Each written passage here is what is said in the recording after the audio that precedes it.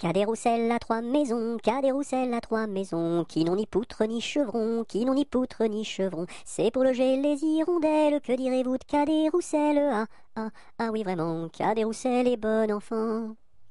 Qu'a des Roussel à trois gros chiens, qu'a des Roussel à trois gros chiens. L'un court au lièvre, l'autre au lapin, l'un court au lièvre, l'autre au lapin. Troisième s'enfuit quand on l'appelle, comme le chien de Jean de Nivelle. Ah, ah, ah oui vraiment, qu'a des Roussel est bon enfant.